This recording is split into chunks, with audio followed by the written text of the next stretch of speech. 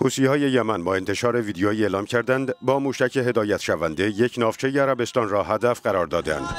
عربستان سعودی می‌گوید حمله روز دوشنبه شورشیان حوسی توسط سه قایق به نافچه این کشور در غرب بندر حدیده یمن دو کشته و سه زخمی بر جای گذاشته است. عربستان این حمله را حمله انتحاری خوانده است.